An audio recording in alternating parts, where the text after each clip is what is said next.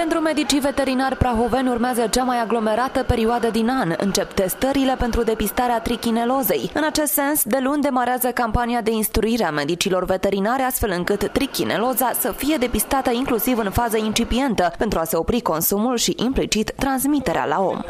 Începând cu data de 3, 37, săptămâna 37 decembrie, facem instruirea medicilor veterinari, atât cei concesionari la nivelul uh, localităților din județul Prahova, cât și medicii de stat și de la abator laboratoarele care sunt autorizate sanitar veterinare pentru sacrificare porc.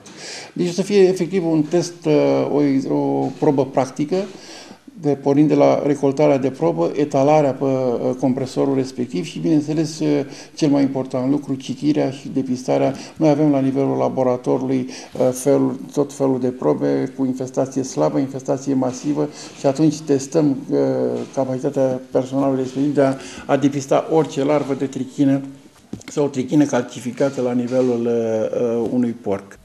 Aproape 50 de centre vor lucra luna aceasta la foc automat pentru a face testul trichineloscopic la toate probele ce vor fi aduse de prahoveni la laboratoare. Centre de examinare pentru examen trichinoscopii la porți sacrificați în gospodărie avem 30 la nivelul comunelor din județul Prahova și avem uh, în cele 14 uh, orașe câte unul în fiecare oraș, cu excepția Ploiești, unde avem 3 centre, în Câmpina 2 și în Mizil 2.